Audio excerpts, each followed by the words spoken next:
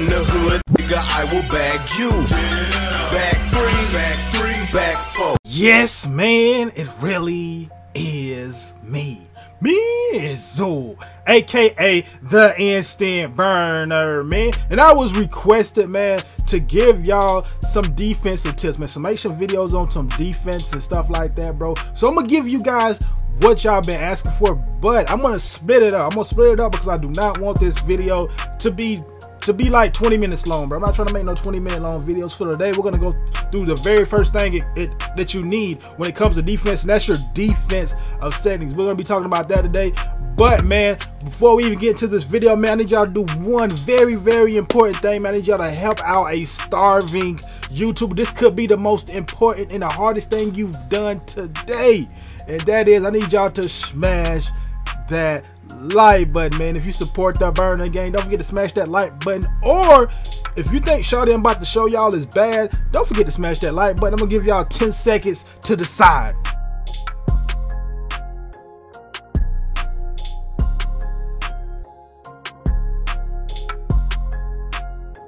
All right, appreciate everybody that show love, but uh, let's go ahead and get into this, man. Let's go ahead and get into these settings, bro. Let me go to it. I'm gonna go to the controller settings. The very first thing, man, is your vibration. This is one of those things. It's it's a personal preference. It's one of personal preference. I've heard, I've seen on YouTube that that you have it on vibration gives you a little bit of a, of a delay. I don't know for sure. I don't know if that's if that's real, if it's not real. But I play with mine off. The reason I play with mine off because man, 2K, bro, they have way too many animations. I mean, they have way too many vibration animations in this game, bro. If you shoot the ball, it's it's a vibration. I know they, I know they do it to try to help you get your release timing, and when you do a layup, when you run into a pick, it's a vibration. Everything's a vibration. Like I said, they try. They, I think they do it to to help you in this game, but I, I don't need that help. So I actually turn this off just because it it anno- to be honest it just it just annoys me it annoys me so I, I, do turn this off and plus man i've figured out man with me when i have this on i don't hit as many shots even though this is a defensive video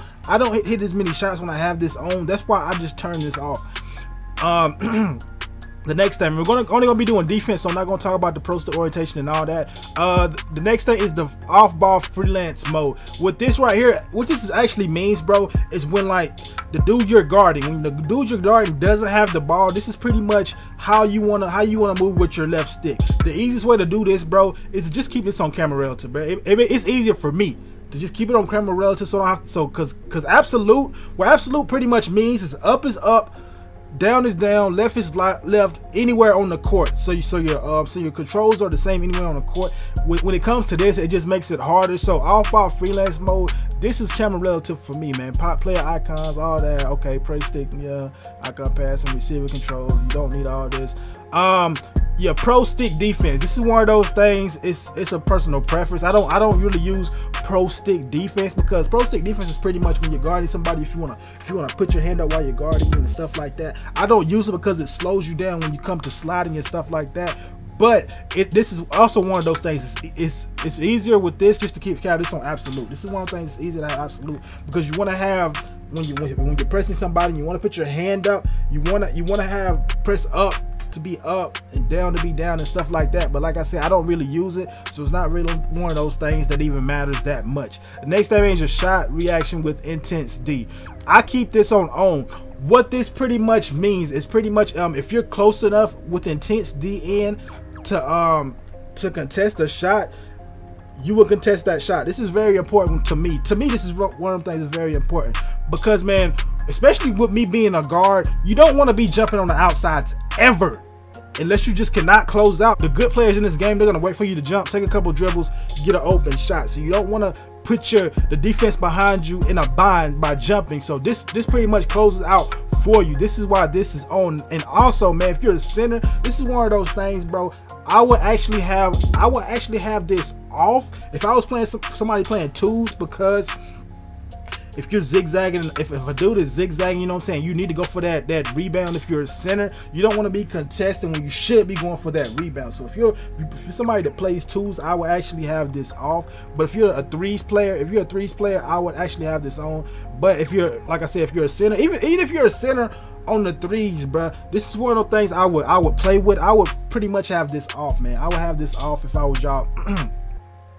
Unless unless you're one of those centers, bro, and you play with a bunch of people that, that y'all like to um that y'all like to hedge. If you're someone one of those centers that likes to hedge, you want to have this on just because, bro, because it's a lot of zigzaggers in this game, a lot of zigzaggers. And when they zigzag, if you're playing, if you want to hedge it so you don't come up too much, so your um so your guard can come back over the screen left and right, if you're close if you're close enough to the dude, if you're close enough to the dude, just in case the sharpshooter shoots, you can still put your hand up to contest it so it's not a good shot. So that this pretty much depends on the way that you play defense. The next thing, man, is who the guard. Who the guard is very, very improved. Very improved this year, guys. Very improved. Because last year, if you had this on right here, when you tried to switch, you would still get that inv invisible, what is it, like an invisible force field where you still be stuck to that player. They have taken that out of the game, so you can pretty much you can pretty much switch smoothly having this on you know what i'm saying? I just i keep it on because it just makes it it makes things easier you know what i'm saying? Because like i said it's not an invisible force field this year.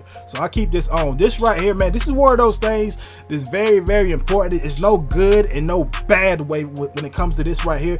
This solely depends solely depends on how you play left right cheese. Like i said earlier with the left right cheese with the sharpshooters going left and right between screens this, this what this does right here if you're one of those type of people, if you're one of those type of people that likes to play left, right, where like you play one side and your center plays the other side and you don't want to try to fight the screen, what you want to do, you want to keep this as low as possible. The reason is the higher that you have this up, talking to guards right now, when we talking to guards for example, I'm talking about centers. But if you're a guard, what you want to do, you want to have this as low as possible, man. No more than 20. I, I have tried this, I've studied it. So no more than 20 if you're one of those type people that likes to play left, right, because when you have this higher, you will automatically fight the screen, even when you don't want to, unless unless you let go of everything. You have to let go of everything. You're moving, your your left trigger. You gotta let go of all that if you wanna if you wanna have this higher. You know what I'm saying? Because it will it will automatically help you fight the screen left and right, left and right, left and right. Me personally, me personally, it makes the game easier. What I've studied and what I've learned, bro, I put mine on 60. The reason some y'all might be saying, bro, that's that's kind of high. Why, why you got it on 60? The reason I got this on 60, bro, this intense D, bro, is, is overpowered this year, bro. I don't really have to play that much defense when I have this around 60. If you go anywhere higher than 60, your dude is sluggish. I'm talking about guards. This is not for centers. I'm gonna talk about centers in a second, y'all. But as a guard, bro, when you have this on 60, bro, it makes life a lot easier, bro. Once you have that, because it helps you slide, bro. It, like the first move that, that your defender does, it, it puts you in position to to stop that first move. And and and it helps you stick it lets you stick when you're playing all ball d. Way way easier way easier in my opinion if you know what you're doing. And also man when it comes to left right cheese i like to try to swing back if i if i got a good center that can hedge i like to swing back and forth back and forth between it and stop that left right so we don't have to switch and I'm, and I'm switched on the center. So it helps me with this intense d being up. But if you're a center guys if you're a center but like i said this is not i mean this is how y'all play But if you're a center, guys, this should not this should be down. Down. No more than no more than about 10. This should be down. The reason is you don't want to be switching back. You don't want to be switching between the screen back and forth because you're a center. You're there just to show, or you're there to put your hand up, or you're there to switch. So you do not want to have this high if you are a center. Plus, you will be way too sluggish having this at a high number if you are a center. Then the next thing, man, is your box out strength. If you are a guard, bro, I would suggest, bro, just putting this on a hundred. The reason is, bro, it, it, makes life so much easier when you're boxing out, bro, because it already turns your dude around. Because sometimes when it comes to 2K, they will switch my settings. I can tell when they switch my settings just by my box out assist strength. You know, I can tell that they switch my settings because it because it flips your player around easy and he cannot break those box outs if you are a guard. As a center, I do not know because I do not have a center. I don't know what y'all need to put this on in the comments. Let me know what I what what y'all put this on if you are a center, your box out strength. But I think that's it. That's it for today, guys. That's it. If this video helped y'all in any way, don't forget to hit that like. If you love this video, please don't forget to subscribe for more great content. And don't forget to be a part of the notification gang. And y'all already know who this is. It is your boy, Mizzle.